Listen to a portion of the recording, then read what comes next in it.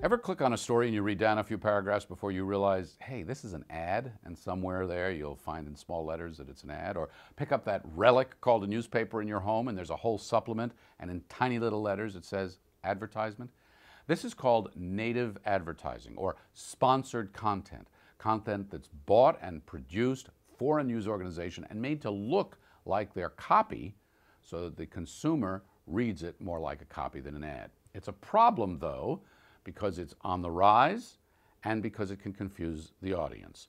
$1.5 billion or so worth of advertising in 2012, estimated to be more than twice that by 2017.